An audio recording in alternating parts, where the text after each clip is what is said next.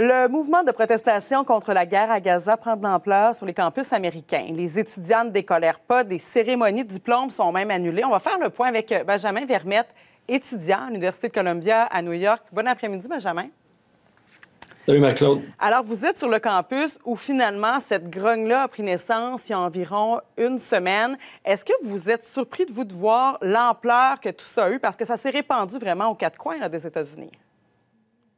Oui, c'est important de, noter premièrement que moi, je suis sur le campus médical qui est environ 5 km au nord euh, du campus principal. Euh, pour les personnes qui sont familiers avec euh, la topographie de Manhattan, le campus principal est à la hauteur d'environ 115e rue. Et puis le campus médical où je suis en ce moment, c'est environ la hauteur de 168e rue. mais n'en demeure pas moins qu'on a beaucoup de, de, de, répercussions ici. Puis L'affaire aussi qui est important à comprendre avec Columbia, c'est que c'est une des universités les plus activistes aux États-Unis.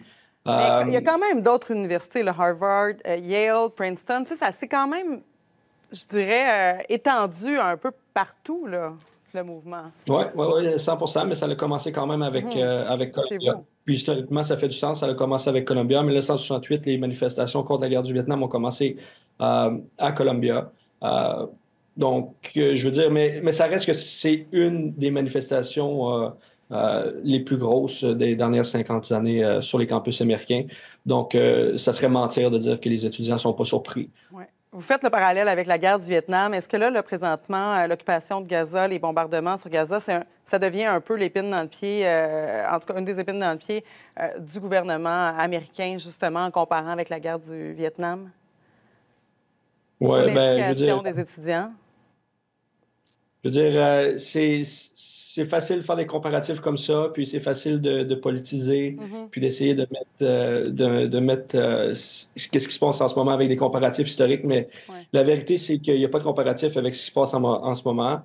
Et puis, c'est pas comme si les manifestants, c'était un groupe homogène ou que c'était un groupe qui, avec tout le monde qui pense pareil, contre un autre groupe, disons, pro-israélien, où tout le monde pense pareil c'est deux groupes très hétérogènes. Puis quand on analyse une, euh, euh, un événement aussi chaotique que ça, on se doit d'aller dans les détails. Tu sais, je veux dire, il y a du monde qui font partie de la communauté juive que je connais personnellement, tu sais, qui font partie des manifestations, soi-disant pro-palestiniennes sur le campus. Euh, évidemment, ce n'est pas, une, une, majorité, mais ça reste qu'il y a des contradictions comme ça. Puis c'est important de, de comme je disais, d'aller dans les détails pour essayer de comprendre. Parce que si on, généralise trop, on va commencer à polariser puis à politiser euh, la situation. Puis c'est là qu'on commence à, avoir voir plus clair. Euh, euh, à votre université aussi, ce qui avait de particulier, c'est qu'il y a des campements qui ont été érigés par les étudiants. D'ailleurs, je pense que les étudiants avaient jusqu'à aujourd'hui pour démanteler le campement. Est-ce que vous savez si les campements sont toujours là chez vous?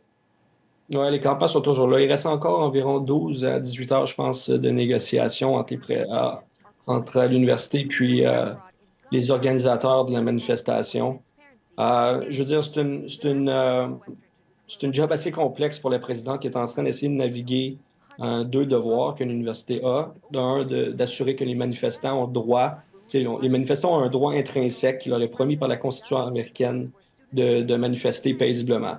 Mais l'université a aussi un autre devoir, puis ce devoir-là, c'est d'éduquer ces jeunes. Puis là, c'est indéniable que les manifestations ont affecté euh, l'éducation des autres personnes qui essaient euh, d'étudier et d'avoir des bonnes notes, parce que pour le reste de la session, euh, qui se termine dans deux semaines, les cours sont en ligne.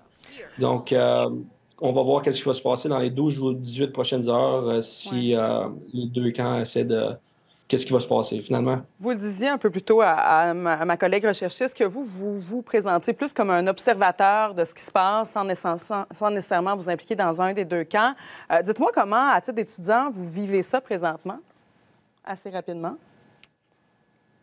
Euh, c'est difficile de. Je peux pas me mettre dans un. Tu je veux dire, je peux pas me mettre dans un camp comme de l'autre parce que les deux ont des fautes. Euh, puis les deux ont, ils ont des raisons. Puis comme je disais auparavant, c'est important de considérer euh, l'hétérogénéité des deux groupes manifestants, soit les pro-palestiniens ou les pro-israéliens, pour comprendre la complexité de la situation. Avez-vous l'impression que c'est un mouvement qui risque de perdurer encore dans le temps? Non, moi je pense que s'il va avoir un effet plus qu'un autre, ça va être simplement de donner des munitions euh, aux personnes un peu plus conservateurs, puis ça va, ça va, puis ça va polariser encore plus la politique américaine. Intéressant, en tout cas, d'avoir votre, euh, votre, point de vue, puis en tout cas, votre vision, tout ça, alors que vous êtes sur le campus de Columbia. Merci beaucoup, Benjamin Vermette, étudiant à l'Université de Columbia à New York.